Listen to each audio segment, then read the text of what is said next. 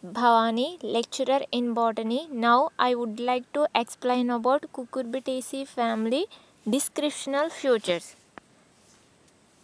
Cucurbitaceae family classification.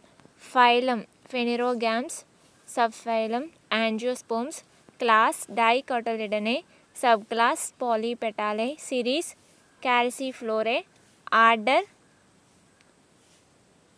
order Fasciflorales.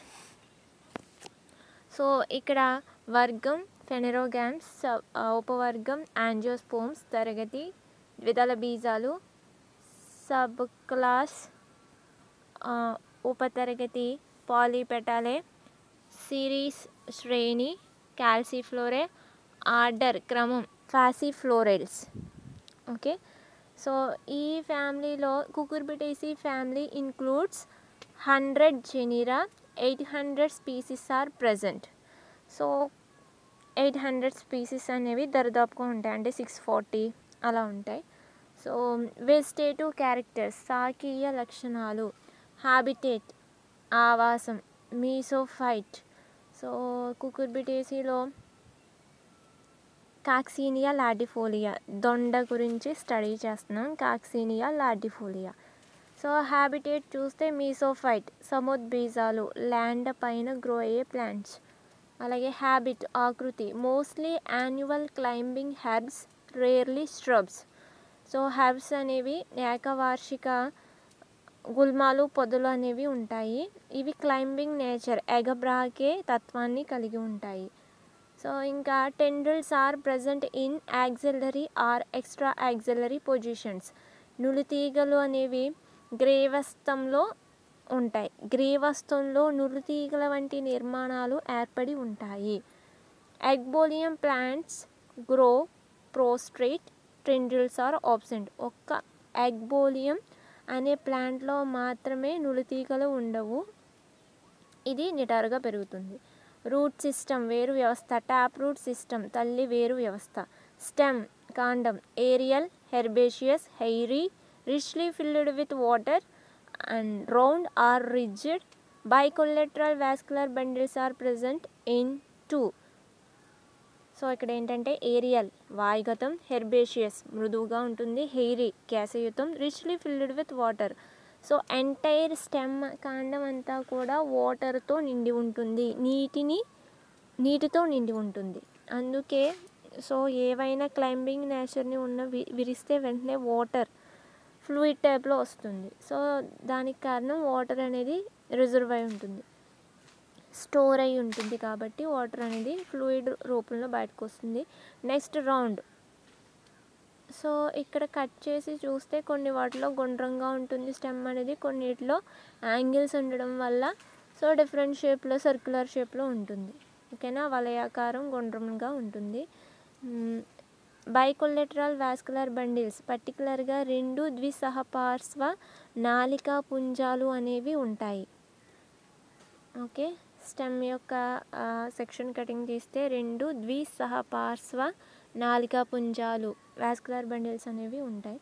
Leaf simple leaf సరళపత్రం and lobes అంటే leaf contain lobes పత్రానికి లోబ్లు అనేవి ఉంటాయి. సో ఇక్కడ ఇంకా ఏం చెప్పుకోవాలి అంటే ఆల్టర్నేట్ అంటే లీఫ్ ఫిల్లోటాక్సీ చూస్తే ఆల్టర్నేట్ ఆల్రెడీ యు నో ఒకదానికి ఒకటి సంబంధం లేకుండా ఆల్టర్నేటెడ్గా ఏర్పడతాయి. సో ఆ టైప్ ఆఫ్ అరేంజ్మెంట్ని ఆల్టర్నేట్ ఫిల్లో ట్యాక్సీ అంటారు. ఫర్ ఎగ్జాంపుల్ ఇది స్టెమ్ ఇక్కడో లీఫ్ అనేది ఫామ్ అయింది. మరలా ఇక్కడ ఫామ్ అవుతుంది. దీన్ని ఆల్టర్నేట్ ఫిల్లో ట్యాక్సీ అంటారు. Okay next exstipulate so leaf యొక్క లీఫ్కి ఉన్నటువంటి పీటీఓల యొక్క బేస్ పొజిషన్లో హెయిర్ లైక్ స్ట్రక్చర్ స్ట్రక్చర్ అనేది ఆబ్సెంట్ అయి ఉంటే దాన్ని ఎక్స్టిప్యులేట్ అంటారు. ఇంకా but in అకాంథియోసైసిస్ stipules modify into spines.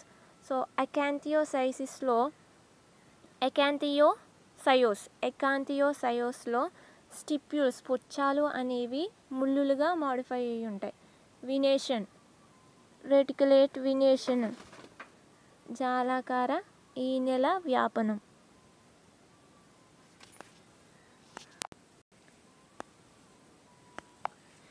Next ఏంటంటే ఫ్లోరల్ క్యారెక్టర్స్. పుష్ప లక్షణాలు inflorescence. Mostly axillary inflorescence. So ఇది లీవ్స్ యొక్క యాక్సిల్స్.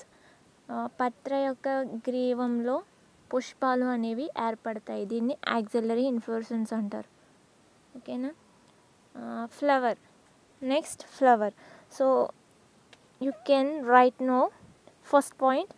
Flower అని పెట్టుకుని ఫ్లవర్స్ ఆర్ యూనిసెక్షువల్ పుష్పాలు ఏకలింగాశ్రయ స్థితిలో ఉంటాయి.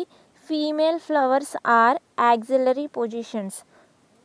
Okay axillary పొజిషన్లో ఫీమేల్ ఫ్లవర్స్ అనేవి ఏర్పడతాయి. Male flowers racemes plants mostly monoecious condition plants mostly monoecious condition అంటే మేలు ఫీమేలు ఒకే ప్లాంట్ మీద ఆరిజన్ అయితే దాన్ని మోనోషియస్ కండిషన్ అంటారు. డైషియస్ అంటే డిఫరెంట్ ప్లాంట్స్ మీద మేల్ ఫీమేల్ ఆర్గాన్స్ డెవలప్ అయితే డైషియస్ కండిషన్ అంటారు. ఇక్కడ యాక్సలరీ పొజిషన్లో ఫీమేల్ ఫ్లవర్స్ ఏర్పడతాయి.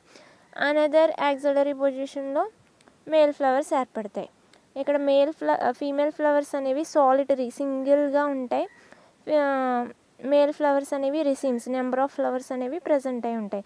బట్ మేల్ ఫీమేల్ ఏదైనా సరే యాక్సలరీ పొజిషన్లోనే ఆరిజిన్ అవుతాయి కాబట్టి axillary inflorescence okay next one corolla sorry calyx so ఇక్కడ ఇంకొకటి రాసుకోండి. ఫ్లవర్ ఫ్లవర్ అని పెట్టారు కదా. సో మీరు రాసింది flowers are unisexual female flowers are axillary male flowers racemes plants mostly monoecious రాసిన తర్వాత ఈ పాయింట్స్ రాయండి. బ్రాక్టియేట్ పొచ్చేతం ఎబ్రాక్టియోలేట్ లఘుపుచ్చరహితం యాక్టినోమార్ఫిక్ సౌష్ఠవేత పుష్పం ఇన్కంప్లీట్ అసంపూర్ణ పుష్పం ఎపిగైనస్ అండకోసోపరిక పుష్పం పెంటామెరస్ అంటే అన్నీ కూడా ఫైవ్ ఫైవ్ పార్ట్స్ ఉంటాయి. అన్ని పార్ట్స్ ఫైవ్ నెంబర్ ఉంటుంది కాబట్టి పెంటామెరస్ ఎపిగైనస్ అంటే ఏంటంటే ఇక్కడ ఓవరీ అనేది ఒక బౌల్ లాంటి నిర్మాణాన్ని గిన్నె వంటి నిర్మాణాన్ని కలిగి ఉంటుంది. సో ఆ గిన్నె వంటి నిర్మాణం ఆ ఓవరీ యొక్క వాల్స్ ఏవైతే ఉన్నాయో అంచులు వెంబడి కేలిక్స్ కొరెల్లా అనేవి ఆర్జినేట్ అవుతాయి. ఈ రకమైన టైప్ని ఎపిగైనస్ అంటారు. ఓకే? Next calyx. కేలిక్స్లో ఇక్కడ ఏం పెట్టుకుంటారంటే ఫ్లవర్ తర్వాత ఫీమేల్ ఫ్లవర్ అని పెట్టుకోండి. రెండు కూడా ఒకే ప్లాంట్ మీద ఉన్నప్పటికీ డిఫరెంట్ పొజిషన్లో ఉంటాయి కాబట్టి ఫీమేల్ ఫ్లవర్ అని పెట్టుకుని ఆ ఫ్లవర్కి సంబంధించి ఇదంతా రాస్తారు. ఇదంతా రాసిన తర్వాత సో ఇక్కడ ఇన్ఫ్లోసెన్స్ వరకు ఓకే. ఇన్ఫ్లోసెన్స్ అయిపోయిన తర్వాత ఫ్లవర్ అని పెట్టుకుని ఫీమేల్ ఫ్లవర్ అని పెట్టుకుని దానికి సంబంధించి మ్యాటర్ అంతా రాస్తారు. తరువాత ఫీమేల్ ఫ్లవర్ కింద కేలిక్స్ అని పెడతారు. In female flower contain five sepals gamosepalous valvate aestivation. స్త్రీ పుష్పంలో ఐదు రక్షక పత్రాలు ఉంటాయి. అవి అసంయుక్త రక్షక పత్రాలు వాల్వెట్ యాస్టివేషన్. గామోసెఫాలస్ అంటే తెలుసు వాల్వేట్ యాస్టివేషన్ అంటే తెలుసు. Next corolla corolla in female flowers five petals are present gamopetalous valvate aestivation okay next androecium అని పెడతారు. ఆండ్రూషియం ఇక్కడ ఏం రాస్తారంటే ఆబ్సెంట్ అని రాయాలి. Okay androecium absent androecium absent. Female ఫ్లవర్లో absent అని రాసిన తర్వాత gynoecium. Tricarpellary unilocular syncarpous syncarpous ovary parietal placentation stigma is capitate. So stigma అనేది రౌండ్ షేప్లో ఉంటుంది కాబట్టి క్యాపిటేట్గా ఉంటుంది. గైనోషియం అంటే ట్రై కార్పెల్లరీ మూడు కార్పెల్స్ ఉంటాయి. ఏకబెలం యూనిలోక్యులర్. సింకార్పస్ అంటే కార్పెల్స్ అన్నీ కూడా ఫ్యూజ్ అయి ఉంటాయి. సు సింకర్పస్ ఓవరీ పెరిటియల్ ప్లాసెంటేషన్ అంటే కుడ్య అండన్యాసం. వాల్స్కి సో వాల్స్కి అటాచ్ చేయి ఉంటాయి. ఏవి ఓవ్యూల్స్ అనేవి. దాన్ని పెరిటల్ ప్లాసెంటేషన్ అంటారు. నెక్స్ట్ ఫ్రూట్ వచ్చేసి ఇక్కడ పెపో ఓకే సారీ. గైనోషియం వరకు రాయాలి. గైనోషియం అయిపోయిన తర్వాత అర్థమైంది కదా ఇక్కడ ఆండ్రూషియం అనేది ఆబ్సెంట్ అని రాస్తారు. ఆండ్రూషియం ఆబ్సెంట్.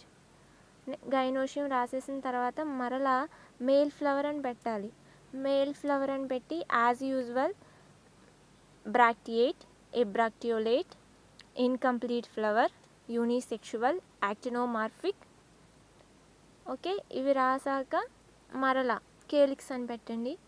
కేలిక్స్లో ఏం రాయాలంటే మీరు రాస్తూ ఉండాలి. Calyx first. Five in male flower five sepals are present gamosepalous valvate aestivation. Okay? As usual అక్కడ ఏం రాస్తారో ఇక్కడ కూడా అదే రాస్తారు. తర్వాత corolla. Five petals are present gamopetalous valvate aestivation. Okay? Telugu medium పురుష పుష్పం అని పెట్టి రక్షక పత్రాలు ఐదు రక్షక పత్రాలు ఉంటాయి. అసంయుక్త రక్షక పత్రాలు కవాటయుత పుష్పరచన. నెక్స్ట్ ఆకర్షణ పత్రాలు. ఐదు ఆకర్షణ పత్రాలు ఉంటాయి. అసంయుక్త ఆకర్షణ పత్రాలు కవాటయుత పుష్పరచన. నెక్స్ట్ ఆండ్రూషియం. ఇక్కడికి ఆండ్రూషియం దగ్గరికి రండి. కేసరాలు కేసరావాలి అని హెడ్డింగ్ పెట్టి five stamens are present. Five stamens are present filaments anthers cohesions anther cohesion అంటే ఇక్కడ కేసరాలు ఐదు కేసరాలు ఉంటాయి. ఇవి కొహిషన్ అంటే సంసంజనం. సంసంజనం చెంది ఉంటాయి అంటే ఫిల్మెంట్స్ ఉంటాయి కదా anthers contain filaments filaments and anthers రెండు కూడా ఫ్యూజ్ అయి ఉంటాయి. అంటే ఎలా అంటే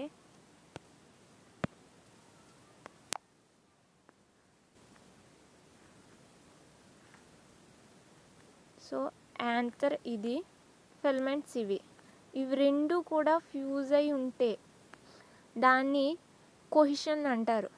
లేదా సినాండ్రస్ కండిషన్ అంటారు. ఆస్ట్రేసిలో ఏం చెప్పుకున్నాం? ఉన్న స్టామన్స్ ఫ్యూజ్ అయ్యి ఫిల్మెంట్స్ ఫ్రీగా ఉంటే సింజనీషియస్ కండిషన్ బట్ రెండు ఫ్యూజ్ అయి ఉంటే synandrous condition. Synandrous condition అపిడిన్ cucurbitaceae family. Okay? This one ఇది యాంథ యాంథర్సాల్ డైథీకస్ కండిషన్ ఎక్స్ట్రో ఇంట్రోర్స్ లాంగిట్యూడినల్ డిహెసెన్స్ అది రాస్తే సరిపోతుంది. ఇక్కడ గైనోషియం. గైనోషియం ఆబ్సెంట్ అని రాస్తారు. ఓకే? నెక్స్ట్ ఫ్రూట్లోకి వచ్చేస్తే pepo. And pollination entomophily. Through insects ద్వారా జరిగితే యాంటమోఫిలి అంటారు. ఇక్కడ ఫ్లోరల్ ఫార్ములాని అబ్జర్వ్ చేస్తే female flower male flower. So ఫీమేల్కి సంబంధించిన క్యారెక్టర్స్ మేల్కి సంబంధించిన క్యారెక్టర్స్ చూసాం కాబట్టి వాటిని ఫ్లోరల్ ఫ్లోరల్ ఫార్ములా రాస్తే బ్రాక్టియేట్ ఇబ్రాక్టియోలేట్ యాక్టినోమార్ఫిక్ యూ యూనిసెక్షువల్ కాబట్టి ఫీమేల్ కాబట్టి ఇలా ఇండికేట్ చేస్తారు. ఓకే? నెక్స్ట్ క్యాలిక్స్ ఎన్ని ఉన్నాయి ఫైవ్. గ్యామో సెపాలస్ కొరెల్ ఎన్ని ఉన్నాయి ఫైవ్. Gamopetalous androecium absent. గైనూషియంకి వచ్చేసరికి త్రీ ట్రై కార్పెల్లరీ అలాగే ఫ్యూజ్ అయి ఉన్నాయి కాబట్టి ఎలా రాస్తాం? ఓకేనా? ఎపిగైనస్ కాబట్టి పైన ఇండికేట్ చేస్తాం. Next male flower bracteate ebracteolate actinomorphic unisexual కాబట్టి పైన మేల్కి సంబంధించి. As usual calyx corolla same. ఆండ్రూషియంకి వచ్చేసి ఇక్కడ ఫైవ్ ఉంటాయి. ఆ ఫైవ్ కూడా two plus two plus one arrangement. ఐదు కూడా అది ఎలా ఉంటుందో ఫ్లోరల్ డయాగ్రామ్లో చూపిస్తాను. ఇక్కడ గైనోషం అనేది ఆబ్సెంట్ కాబట్టి ఇలా వేస్తాం. ఎకనామిక్ ఇంపార్టెన్స్ వెజిటేబుల్స్ ఏమున్నాయి? సొరకాయ దోశ బీరకాయ వాటి యొక్క సైంటిఫిక్ నేమ్స్ ఇవి.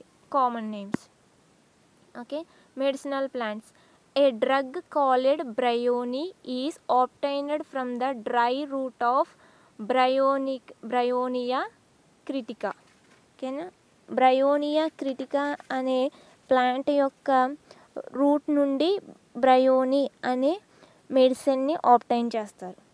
తర్వాత సిట్రుల్లస్ వల్గారిస్ మెడిసినల్ ప్లాంట్ అలాగే మెమోటికా కరాన్షియా కాకర కూడా one of the medicinal plant.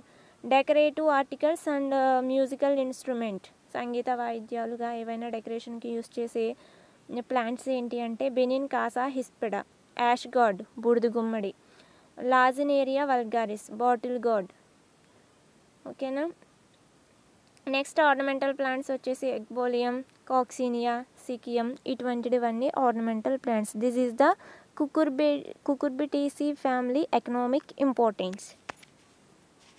So చెప్పాను కదా ఇది మేల్ ఫ్లవర్. ఇది ఫీమేల్ ఫ్లవర్. మేల్ ఫ్లవర్లో అన్నీ కూడా వాల్వేట్ టెస్టివేషన్ కాబట్టి ఇలా ఉంటుంది? గామో పెటాలస్ ఇవి యాంథర్స్ ఇవి యాంథర్స్ ఇవి కొరెల్లా. ఇది కొరెల్లా. ఇది calyx so two plus two one arrangement. ఇవి రెండు ఇవి రెండు నాలుగు ప్లస్ వన్ విడిగా ఉంటుంది. ఇది two plus two one arrangement. So ఇది ఫీమేల్కి సంబంధించి. ఓకే? ట్రైకాల్ ట్రైకార్పెల్లరీ ట్రై కాబట్టి ట్రై ఇది. ఓకే? Okay thank you